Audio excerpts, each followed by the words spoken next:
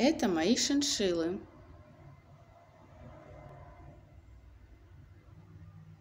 А кушают они корм Витакрафт Пелец.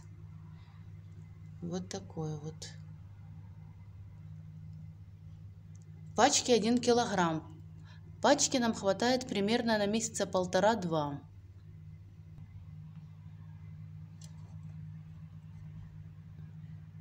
Я раскрыла пачку.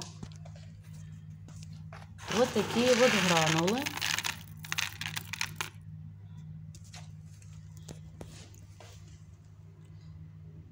Корму я, э, кладу я в кормушечку. Вот кормушечка моя. Вот примерно вот такое вот количество.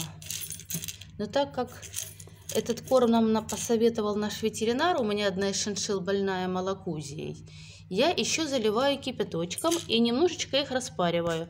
А вообще, конечно, для э, здоровых шиншил этого делать не нужно. Сразу можно давать, они очень любят их.